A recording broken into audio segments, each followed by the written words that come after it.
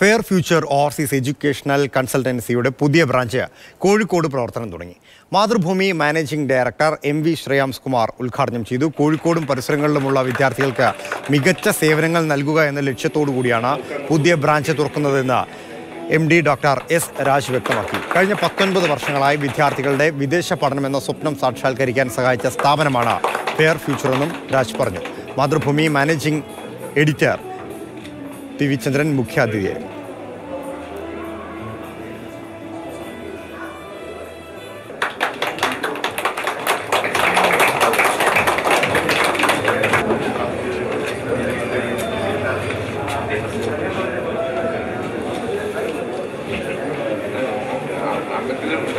है